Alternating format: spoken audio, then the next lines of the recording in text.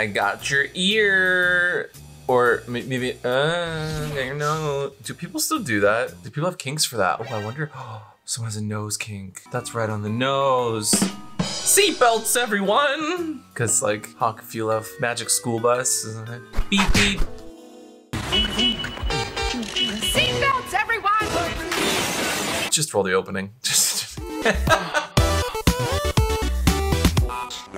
Hello and welcome back to What's a Safe Word. I'm Amp, and in the last episode of really diving deep into a concept, we talked about primal play. But in today's Untied, we are going to dive into probably one of the literal foundations of BDSM, safe words. I like the science of sex. I had a thought. I was I was doing some research like you do, you know. And I was on TikTok of all places looking at the kink talks of it all and happened to run into a TikTok including Hugh Grant talking about being into S&M for a very long period of time. Well, I've been heavily into S&M for I don't know 20 years now. I think so long as you have if you have safe words, it's fun. And that it is, Hugh. That it is. Being the sex positive nerd that I am, I, I looked at that and I was like, okay, Hugh, let's get it. But then also was like, how does Hugh know about safe words? How long have safe words even been around? And I started having conversations, not only with some friends, but went online and literally said, what even is the etymology of a safe word? Where did safe words begin? How did they become a thing? Because when we talk about BDSM, the kink community being safe and sane and consensual, safe words are always at the heart of the context as well as the consent of it all, and are what we can kind of use as a tool to keep ourselves safe. Safer forms of sex and how we interact with each other is the paramount, the backbone, the, the foundation of any good kink scene. So where the hell did they come from? Do you want to know how it started? Do you want to know the first person that said it? Maybe the first person that printed it? Maybe even legally how safe words are going to decriminalize BDSM? Well then, seatbelts everyone! You better buckle up because I have so much information here. I had people that literally wrote the book on the word I had people that edited the Oxford Dictionary as well as sex historians literally in my inboxes giving me not only anecdotes, but proof of the kink community from back in the day that carries on into today. So join me on this little video essay, and if you're curious on any specific parts, whether it's logistics, legalities, my own personal opinions, or final thoughts, there will be chapters down below. So that's what we're gonna look at today. We're gonna use our safe word, we're gonna say safe word so many times, safe word, safe word, safe word, safe word, safe word, safe word, safe word, safe word, safe word. Hey, fun drinking game with water so that you're well hydrated. Every time I say safe word, take a drink because it was in this very unhinged deep dive of a rabbit hole, and I do like a good hole, that I wrote a 15 page paper about safe words. Help. So what is a safe word I hear you ask at the very beginning of this video essay about safe words? Well, it's a word, a phrase, maybe a hand gesture, a tapping sensation, some ninja signs that stop a scene as it is happening in case you need to take a pause. Maybe things need to slow down. Safe words are generally agreed upon between the two parties or more that are involved in a scene, and that can be, again, kink or not.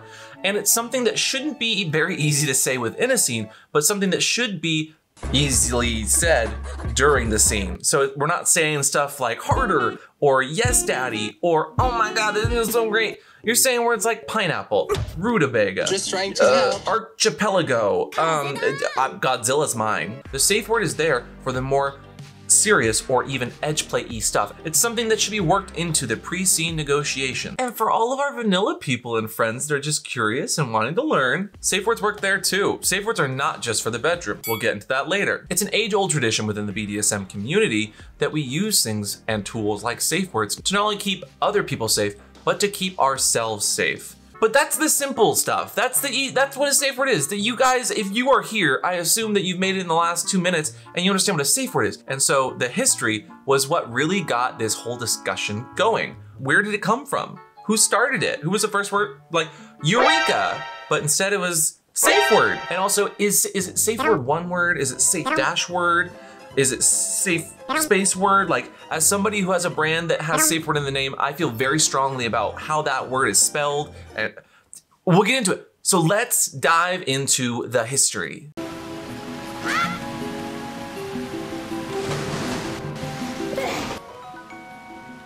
Ah, yes, the etymology of a word.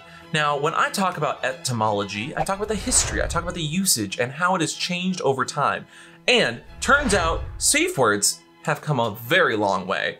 But this entire search for the history of a safe word, where it came from and who coined the term, actually started with a tweet that I was just kind of being like playful and like, I figured somebody on the internet had a very simple answer. And so I posted this and said, Dear sex nerds and info people, I'm on the lookout for the first use, etymology, or history of the term safe word.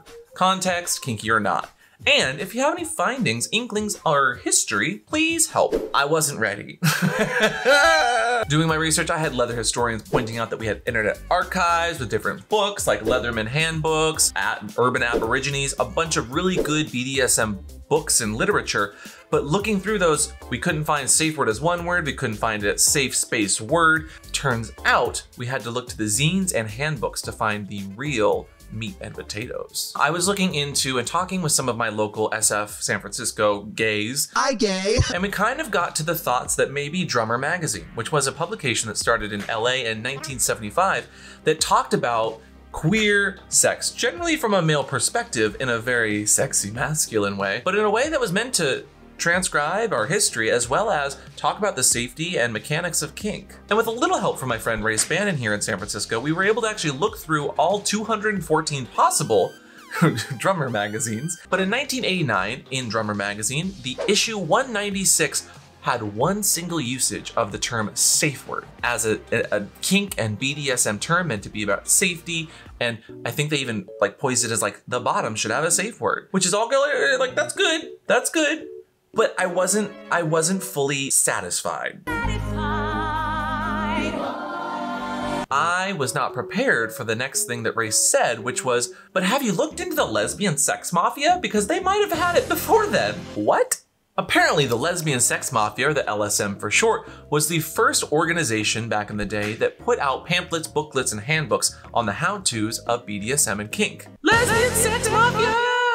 It turns out that a year before Drummer published anything about safe words, in 1988, the Lesbian Sex Mafia had a lesbian S&M safety manual that they kindly were spreading for more than just the lesbians. But I do want to I do want to point out like the lesbians when we look through history of BDSM and kink were so much better about not only documenting but properly writing. I'm not saying the men weren't there and they didn't do the work, but the lesbians were very thorough.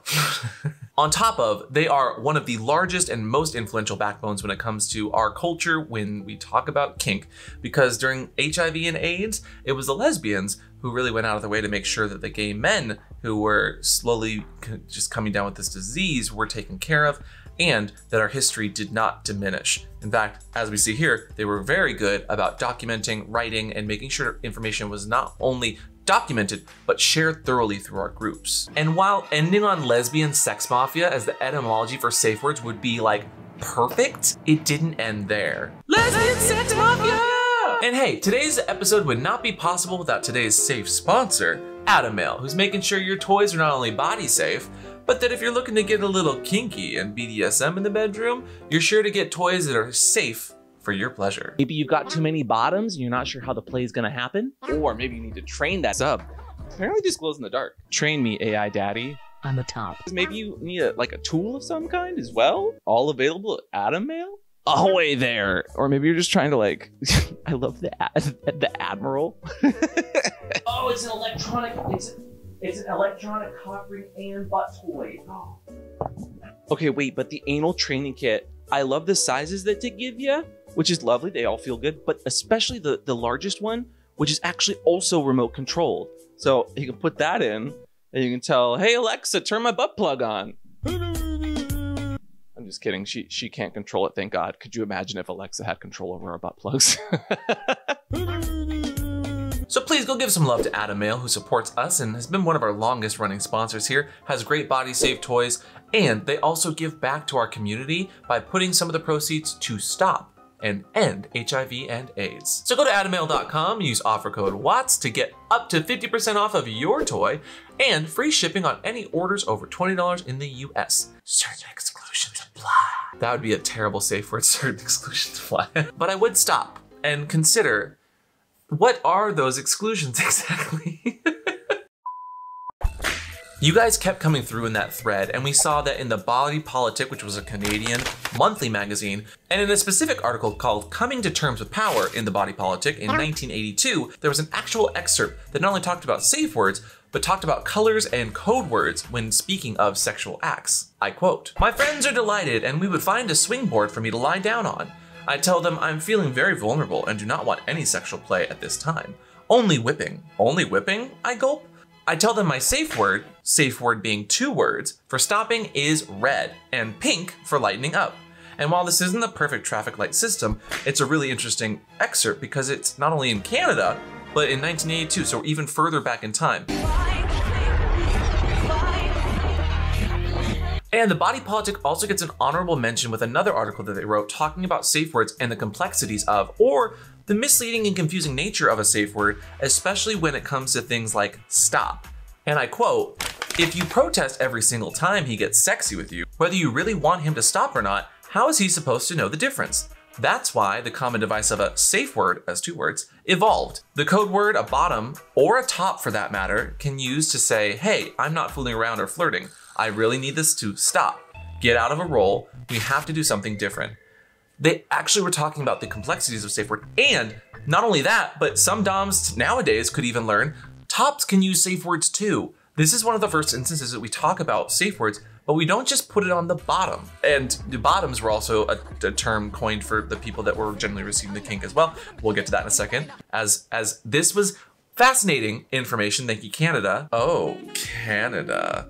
Thank you for your, your services and information, but again, not the etymology of the word itself. Because days later, Jesse Sheidlower actually pinged into my email. I got an email. People still email. You've got mail. Now, Jesse had some credentials. Profiled by the New York Times and editor of uh, uh, this little thing called the Oxford Dictionary, Jesse literally wrote the book about the usage of and the history of the F word. I'm, I'm not kidding. Now, I'm not joking, bitch. So when they said that they had some information about safe words, my hole was open for information. Give me the information, Jesse. Please, I need it. I've been searching for so many days. Also, Jesse, can you let me know how to say lexicographer? Lexico- I keep saying, I want to say cock. I Hunk if you're horny. Mm. I just love sodomy so much. Beep, beep. Seatbelts, everyone! Anyway, Jesse wrote me this freaking amazing email, tons of information in it. The TLDR of it all, though, came down to the use of safe word. Now, the very first publication that we could find of safe word as two words, safe space word, was actually by the SF group called Samois. Can you guess what group and community this was part of? That's right, it was a lesbian feminist based S&M group. Let's go lesbians. Let's go, lesbians! Let's go, lesbians! Turns out we're no longer in the 80s with our history, and in 1979, the S&M Collective produced a booklet called What Color is Your Handkerchief? Personally, mine's usually gray, um, but I have a lot of different shades. I have like a dark blue, a navy, or even a royal, uh, a daddy green or lime is fun. Oh, rainbow's always good. How'd that yellow one get in there? You're peeing, make sure that you are actually in the toilet. And this was the first sexuality reader, which actually included a glossary that had the term safe word as two words, but it was defined as a code word partners involved in S&M sex agree to use to stop the action immediately.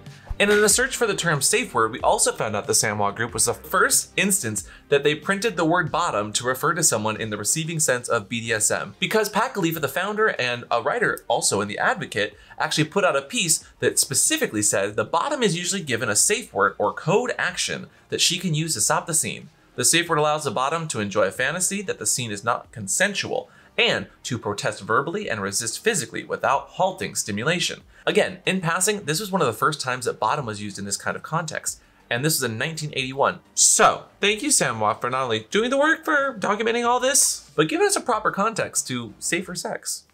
And bottoms. Thank you, bottoms. And linguistically, Jesse even made note that safe word versus safe space word versus safe hyphen word doesn't really matter. We're, we're, we're, grasping at straws because the meaning is all there and they're referring to the same action and, and verbiage. Especially when we look at compound words like safe word, we usually see those kinds of words as spaced out, then later on hyphenated, and then to give it even more importance, connected later on down the line, as we see with safe word. So essentially, A professional linguist and editor of the dictionary said that it should be safe word as a one word. I don't want to see anyone spelling it safe space word ever again, okay? It's what's the safe word, not what's the safe space word.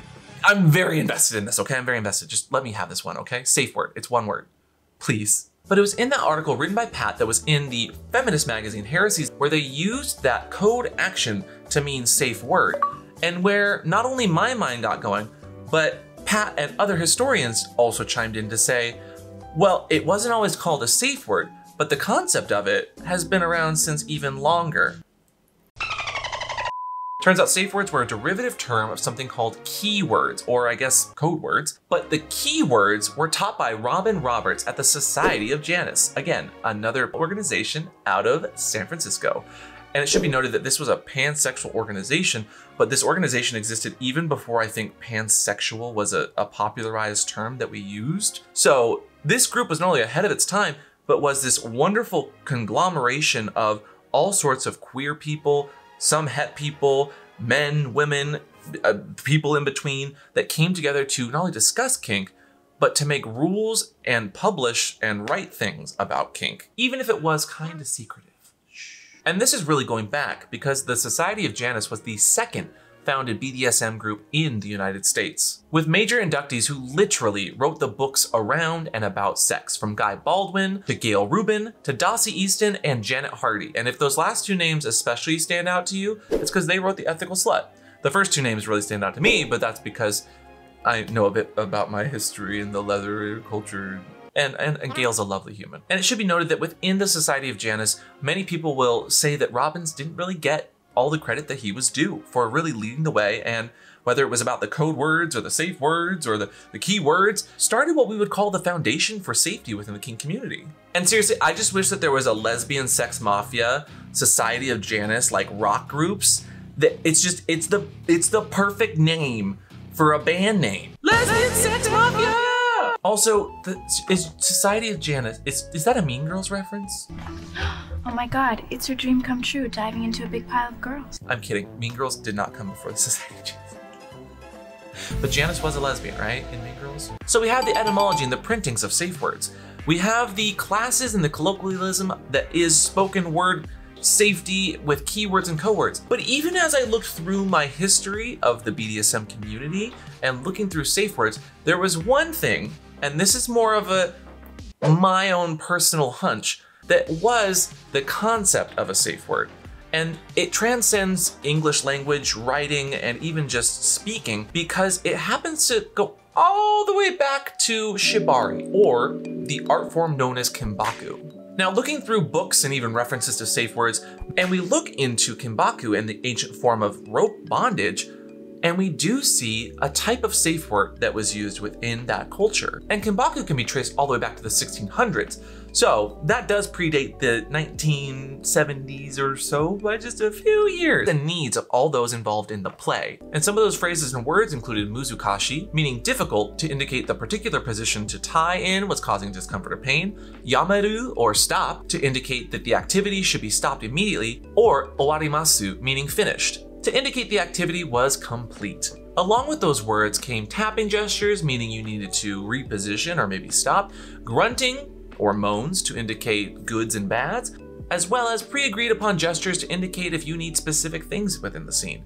And that sounds like a safe word if I've ever heard one, or at least foundation for the use of and the word that we now use safe word. Whew, history. Seatbelts, everyone. That's just the history. That's just the, the the the etymology of it. That doesn't even begin to scratch upon the legality of it that came about when I was looking into the safe word. Because it turns out the use of and the concept of a safe word might actually lead to the decriminalization of certain things within BDSM and law stuff. Where were you March 2nd when I was filming this and somebody got uh, hurt in a kink scene? Now, when we talk about legalities in BDSM, while not super sexy, it is kind of important considering many, many cases of BDSM are seen as SA or the not peppery but salty variety, things I can't say on YouTube because I don't want to be flagged inappropriately. And even in that, we always get questions about like contracts or legal shit like that. And we do have a video asking a, a lawyer anything that you can watch if you want to get into the nitty gritty of that. But it turns out safe words might soon be something that helps you legally to not only make sure that you are consensually having BDSM play, but that you can't be charged or accused of being inappropriate or harming someone within reason legally. Objection! Overruled! I played Phoenix Wright, so I'm an expert on law. That's not how, no, don't, don't listen to someone who said that's not how law works. Because it turns out um, NCSF, or the National Coalition for Sexual Freedom, is trying to change Section 10 of the Penal Code that has to deal with SA and how it's treated. And the crux of that decriminalization of BDSM is safe words. Now the NCSF is trying to start what's called EPP when you're looking at BDSM related cases. And EPP stands for explicit prior permission. Now, you need to have permission, aka consent, to do consensual scenes, obviously. But even when we talk about CNC or more edge play y stuff, which some of which can be covered within this penal code change to, to decriminalize and hopefully make BDSM less stigmatized in our community, but it has to revolve around having a safe word that is literally being written into one of the clauses of this change. Meaning that you'll be allowed to do BDSM and give someone permission to do something of physical force, restraint in a CNC kinky sort of way, and says that legally you can BDSM someone so long as you're only hurting them and not harming them with consent. I love BDSM some. I'm gonna BDSM you so hard. Meaning under EPP, you are making sure that you have a safe word, whether it's in text, whether it's in verbal communication, whether it's even in a contract. You can actually use contracts now legally, maybe, if this passes. And having one less barrier when it comes to BDSM related cases, which I hope and personally think will lead to less stigma on the whole. I heard myself say that and I still said it, so Any hole is a goal. which doesn't cover all edge play, but if you're at all curious, check out the consent counts by NCSF or EPP, explicit prior permission, on their website. There's a lot more info there. We even had a few of the representatives on a podcast recently asking pretty much more to these questions as well. We've done lots of legal related things and kink. Please check that out. And to that point, please make sure that you're doing kink and sex and fun stuff and that you're making it sexy. Make make kink sexy, especially negotiation. Make it fun to make consent happen, which is a really exciting thing. Legally, we are using BDSM to hopefully make BDSM not only destigmatized, but more accessible, easier to talk about, and I hope leads to less ways in which we criminalize people or stop people from living their best lives in their sexy ways, but still let them have families, still let them have their jobs, still let them just be a normal human in our society. Because BDSM is something that is still, but especially in the past, was something that was used against people in a lot of their family, friends, and even workplace environments. And while we've come a long way, I hope that we continue to use our knowledge and our breadth and our just documentation to show that kink and BDSM is not a bad thing and actually helps us, especially our more vanilla friends, to understand ourselves sexually. Because safe words, kink, no matter where you lie on the kinky to vanilla realm, safe words can be a good thing.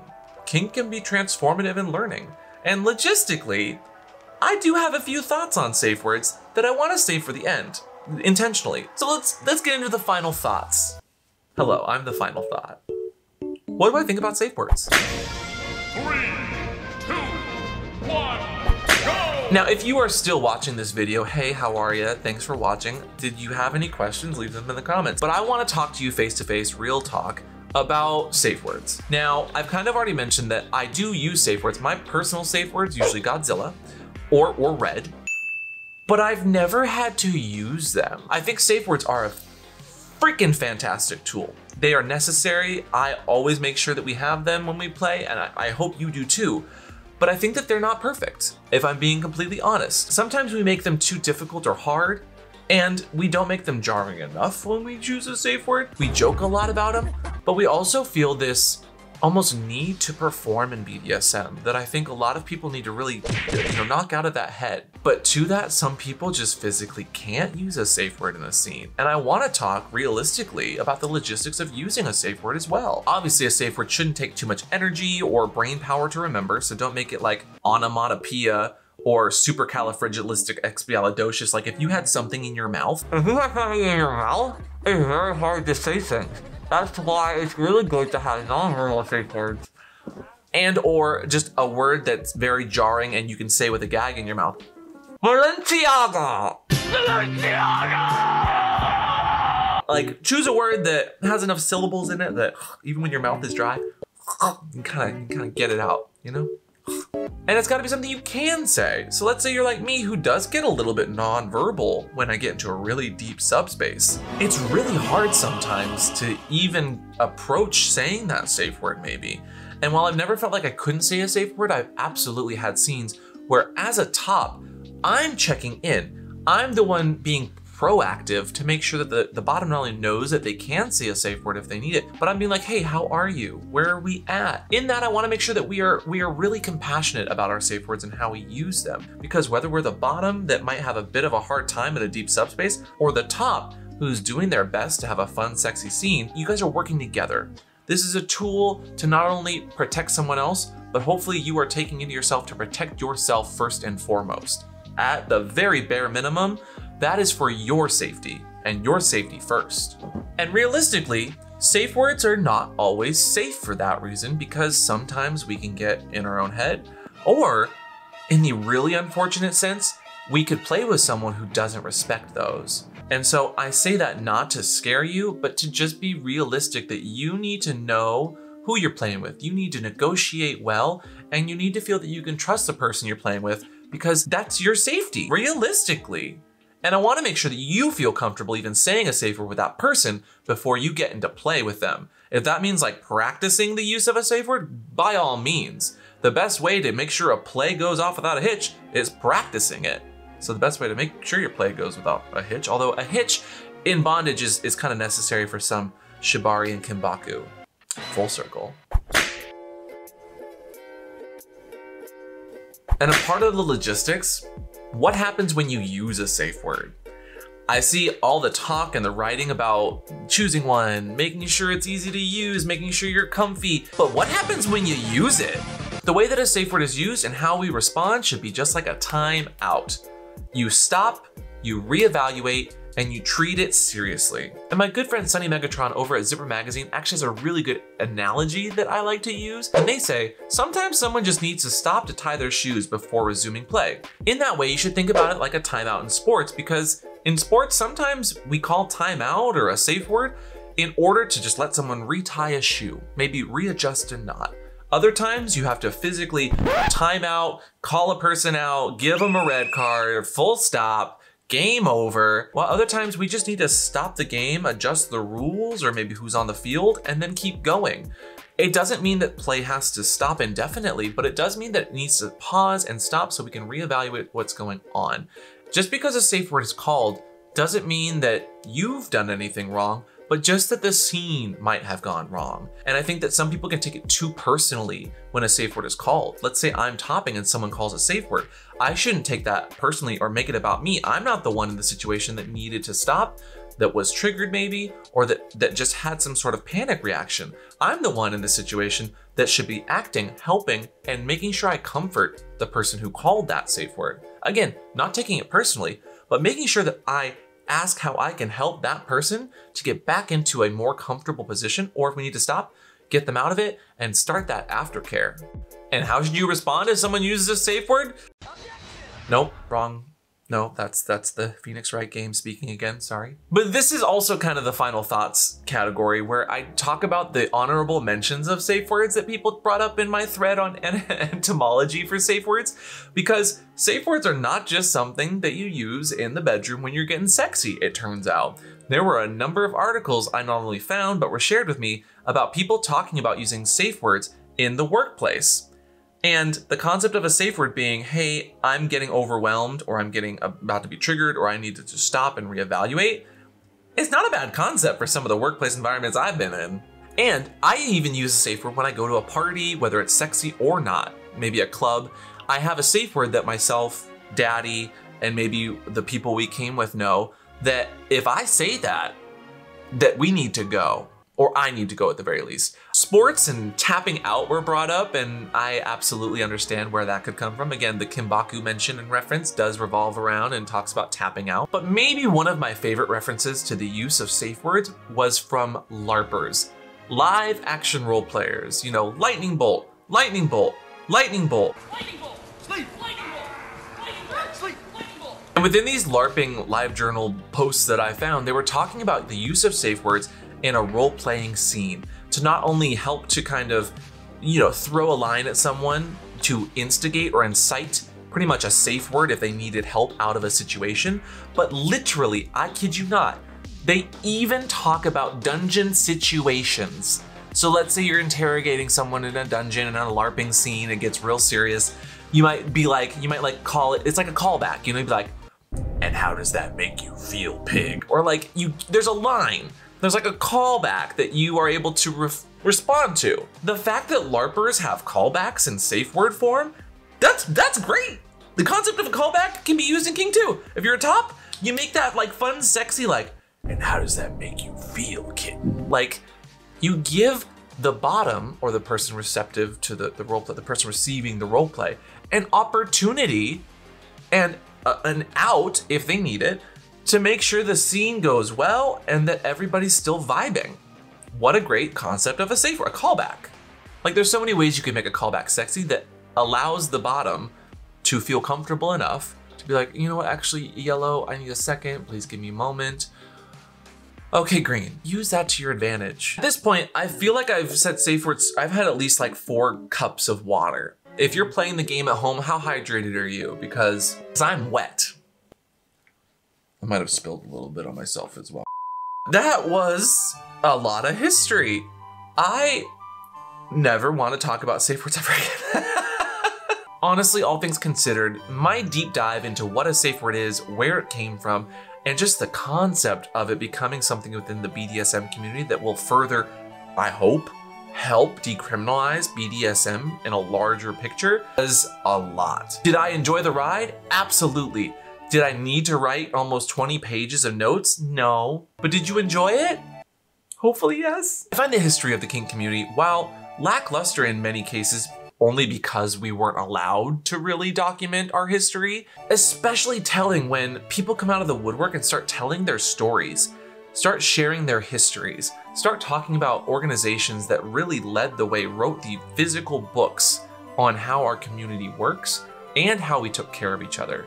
So I just want to give a huge old thank you to not only y'all for watching, um, but our community for really stepping up and giving me not only the information of all of our backgrounds and our histories, but really going, oh, I I actually know the first printing of it, or it was actually mentioned in uh, classes that we just don't have any physical evidence on, but we do have the groups and the people who ran those classes. It's so heartwarming because it shows the real power of the kink community when we put our minds to it, whether our clothes are on or off.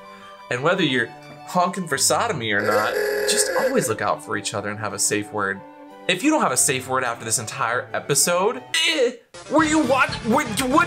Were you even watching the video? Because today's safe word is lesbian sex mafia. Uh, my new potential band name, and just a that's such a good name for a BDSM S&M group. That's such a good name. Whether you learned something or not, let me know down in the comments below. And if you have more evidence on the, the history of safe words, let's talk more. If you liked this episode or not, please let me know. And let me know if you enjoy these kind of deep dives into the history, but also the breakdowns of the community itself. I had too much fun doing this. And if you want to join me on the next episode, make sure you subscribe, and I will talk to you guys next time. Bye! I realize this isn't the point of the episode, but uh, I did ask for people's safe words as part of like researching this. Some of my favorite answers include lawsuit. um, I feel like everyone uses pineapple as a safe word, but there's got to be more interesting safe words than that.